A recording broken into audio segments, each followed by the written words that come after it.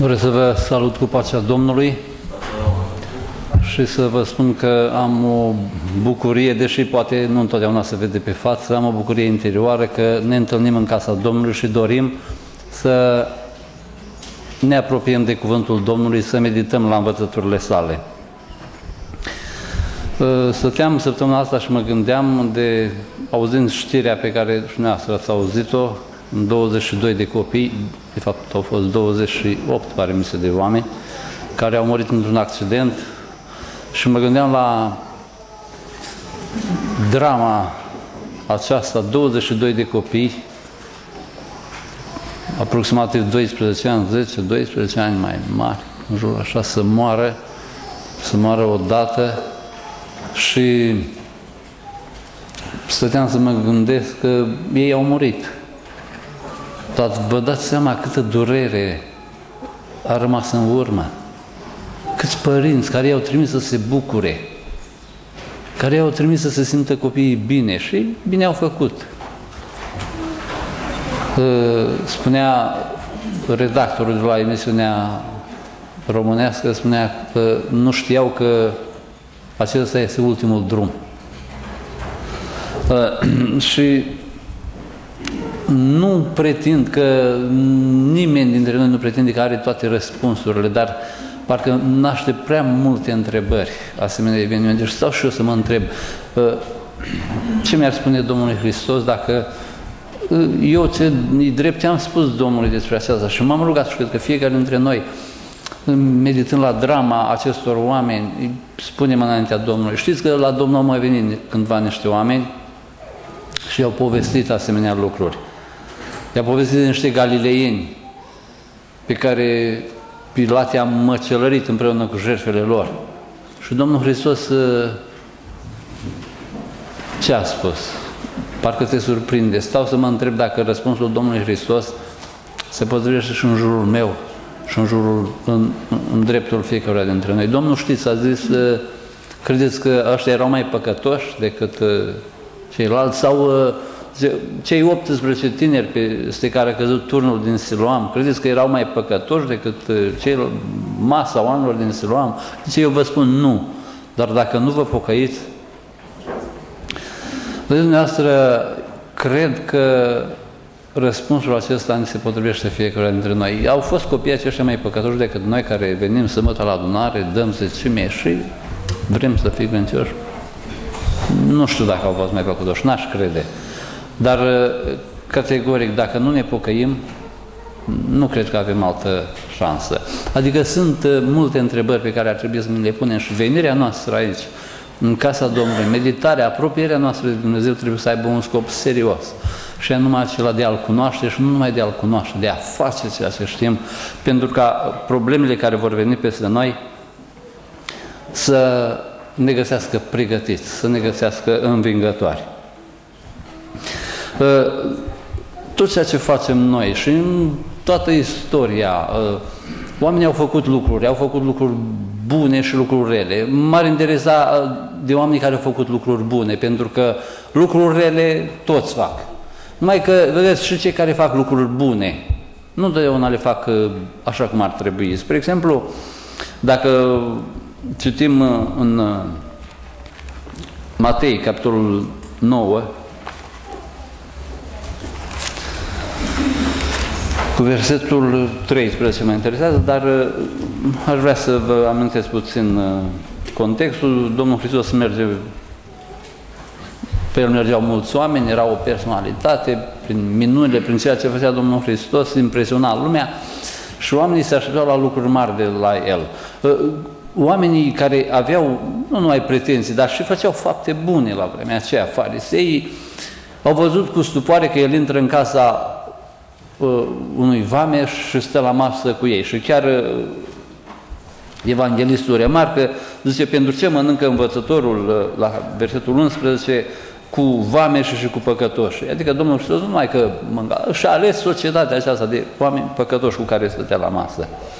Uh, mă interesează versetul 13 din care spune răspunsul Domnului Hristos, zice, duceți-vă și învățați ce înseamnă milă voiesc, iar nu jertfă. Căci n-am venit să chem la pocăință pe cei nepreniți, ci pe cei păcătoși. Vedeți dumneavoastră, oamenii aceștia care îi puneau întrebarea Domnului Hristos sau ucenicilor lui de ce mănâncă învățătorul vostru cu vame și cu păcătoși, de ce stă la masă cu ei, de ce își alege o asemenea companie. Adică, uite, noi ne străduim să facem fapte bune și cred că erau farisei așa cum și noi astăzi. Nu cred că unul dintre noi se străduiește când se duce acasă în timpul săptămânii, domnule, astăzi vreau să fac fapte rele. Toți ne străduim să facem fapte bune. Ne străduim să ascultăm pe Dumnezeu. Iată, o clasă de oameni care așa erau, se străduiau să facă fapte bune, se străduiau să obțină mântuirea, să fie apreciați de Dumnezeu. Ă, Domnul Hristos îi trimite undeva, zice, duceți-vă și învățați ce însemnează milă voiesc, iar nu jertfe. Se vede foarte clar că ă, faptele lor, deși erau bune, aparent, omenește vorbind, erau fapte bune, nu erau apreciate de Domnul Hristos. Ei mai aveau de învățat ceva aveau o orientare greșită. De asemenea, același, aceeași, aproape aceleași cuvinte în capitolul 12 cu versetul 7, iarăși am înțeles puțin situația când ucenicii treceau prin lanurile de grâu și smulgeau spice, au fost uh, criticați de către farisei. Nici noi, când am trecut pe la... am dat tot felul de răspunsuri. Nu știm uh, exact uh, dacă am trece azi, să facem ce au făcut ei, nu. Dar mă rog, farisei, de ce fac uh, ucenicii tăi ce nu este îngăduit să se facă în ziua sabatului? E, Domnul Hristos le spune același lucru. Dacă ați fi știut ce însemnează milă voiesc, iar nu jertfă, ce n-ați fi osândit pe niște nevinovați.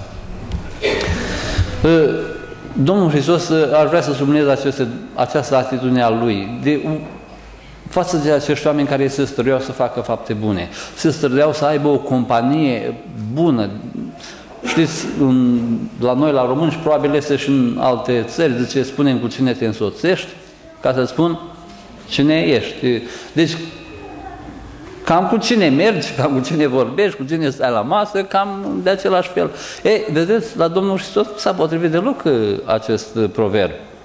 Și eu, uh, cred că și destul de mult dintre noi, atunci când ne alegem prieteni, ne alegem anturajul, nu ne alegem așa, fie cine o fi.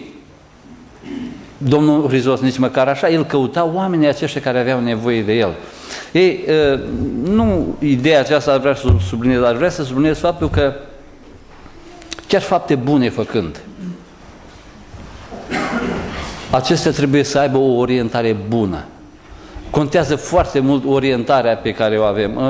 Mi-admintesc că destul de multă vreme în România, când lucram și lucram acasă, veneau oamenii la mine prin natura meseriei și nu, făceam și eu ce credeam că ar trebui făcut. Îi mai spuneam la o vorbă, un cuvânt, îi mai dădeam o carte, mă, și se mai înfilipau discuții și așa mai departe. Mă refer la cele spirituale. Ei, am dat odată o carte la o femeie, sau am încercat să-i dau o carte, ea zice, nu, nu, nu, mulțumesc. Ea n-a vrut să ia cartea. Zice, ea îmi spune, zice, noi avem drumul nostru. Ei, nu am știut ce să-i spun atunci imediat, numai că imediat îmi vine să zic, da, da, zic, contează unde duce drumul. Eu am spus așa, dar după aceea, mai mult eu, nu știu dacă ea s-a mai gândit foarte mult, dar mai mult eu m-am gândit la răspunsul pe care l-am dat, la sfatul pe care l-am dat, contează foarte mult unde duce drumul nostru. S-ar putea să fie fapte bune și să nu ducă în împărăția lui Dumnezeu. De ce? Pentru că, vedeți, noi ne punem foarte mult și parcă e natural, parcă e normal să ne punem uh, încrederea în uh, ceea ce vedem, în ceea ce este. Să vă spun care e opinia mea despre viață și dacă vi se pare că se aseamănă, putem continua. Uh, eu, uh, încă de mic, fiind crescut în Biserica Adventistă, mă rog, am avut un moment al convertirii, dar mi-am clădit viața pe niște principii. Principiile, în general, au fost astea. E bine să fii credincios, e foarte frumos. Încă de când eram mic am observat că sunt niște diferențe, am niște avantaje dacă sunt credincios.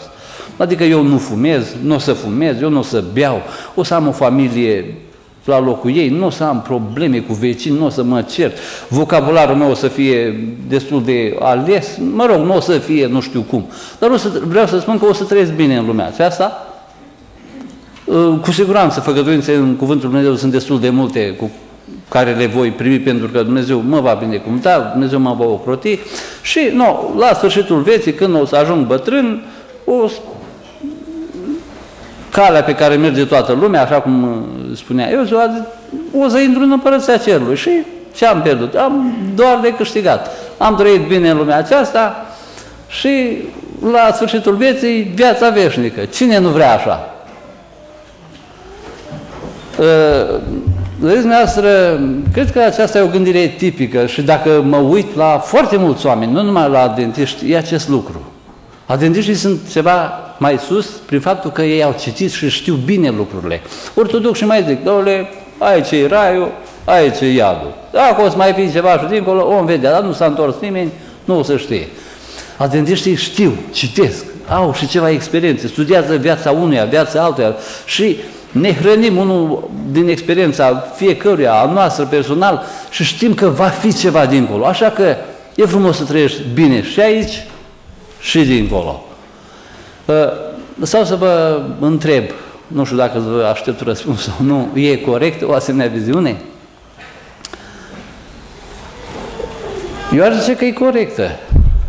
E, e corectă, dar nu se potrivește cu realitatea. Pentru că vin în viață o grămadă de probleme la care nu știi cum să le răspunzi. Gen cel întâmplat săptămâna trecută despre care v-am amintit. Cum să le explici? M-am pus în... Dacă m-ar pune cineva să le explic părinților acelora, bunicilor, copiilor, să iau așa în față și eu să le explic de ce a îngăduit Dumnezeu lucrul acesta. Ce să le spun? Am eu răspunsuri la această întrebare. Imposibil. Nu, nu ne dăm seama nu putem calcula, nu putem cuantifica, nu putem cântări câtă greutate, câtă durere, cât dezastru, cât, câtă rupere de inimă poate provoca doar o, un singur copil, dar atâția. Ei, vedeți dumneavoastră, pe moment ce înainte, nu știu dacă numai vârsta e de vină, dar poate și altceva, înțeleg că lucrurile stau din Biblie altfel. Vezi, dumneavoastră, vrea să vă aduc aminte de o întâmplare. S-a întâmplat, uh, pe care dumneavoastră o cunoașteți, s-a întâmplat pe muntele Golgota, când Domnul Hristos era pe cruce. Și la dreapta și la stânga lui erau doi oameni care împărtășeau aceeași soartă cu el, erau bătuți în cuie. Nimeni dintre noi și nu-i doresc și să nu ajungă într-o asemenea situație. Nu știu cum e să fii, dar uh, în ceea ce mi încipul era groaznic. Să fii dezbrăcat complet, ridicat pe o cruce, bătut în cuie, nu știu ce, și lumea în jurul tău, nu știu ce ce-ți mai trebuie mai mult ca să te simți mai rău. Și spune că, spune evanghelistul Luca, spre exemplu, că toți își băteau joc de... Eu nu, nu stau și nu, nu înțeleg nici până astăzi cum oamenii din cultura aceea de atunci se adunau în jurul crucificaților care, bă, da, nu, nu vă puteți închipui, nici eu nu mi închipui, dar oricum era dezastru, și tu să-ți bați joc de el la care e pe cruce acolo. Mai erau, în altă parte, spune niște femei care se băteau în piept pentru ceea ce se întâmpla acolo, dar oamenii cei mai duri, cei mai bărbați, ce își băteau joc de ei. Până și unul dintre cei care era bătut în cuie, îi spune Domnului Hristos, nu ești tu Hristosul, nu ești tu Hristosul, coboarte de pe cruce Mântuiește-te pe tine și mântuiește-ne și pe noi. Dumneavoastră, vi se pare că ați spus ceva incorrect? El într-o situație groaznică, într-o situație de limită, e să fii pe cruce, să știi că mori. Și dacă nu mori azi, mor mâine și dacă nu mâine, poi mâine și dacă nu mor nici poi mâine, vine și îți zdrobește picioarele, nu te împușcă, nu îți dă cu îți zdrobește picioarele ca să te facă încă să suferi, ca să mori.